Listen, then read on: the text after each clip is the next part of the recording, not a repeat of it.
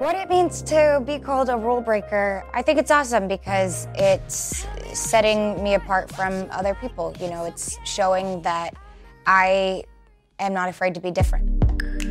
You said that you never. It's not necessarily about me um, breaking the rules or the law or anything like that. It's more so about the way that I stand out and I step up for what I believe. Lights go down and the sun hits ground. There's an element of fearlessness when it comes to being that role model for people. You know, it's not about being the type of role model that's always perfect. It's about being the type of role model that's honest and relatable and that people can look to for advice and inspiration. It's time for me to take it.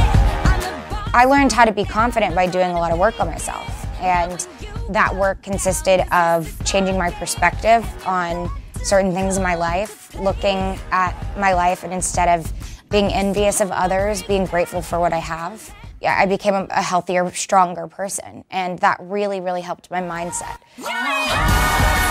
The highlight of my career this year, I think the highlight hasn't stopped. You know, I think I'll look back at my life and say this was a highlight of my life.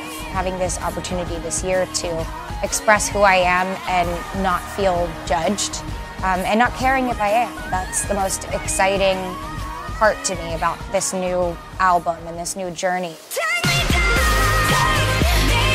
You know, with Cool for the Summer, I don't care how people interpret it. You know, it is what it is, and I'm not ashamed of it. Uh, with confident, I'm not afraid of people looking at me as somebody who's says uh, too much or shows too much skin. You know, I love myself, and I'm excited to embrace that and show the rest of the world that there's nothing wrong with doing that either.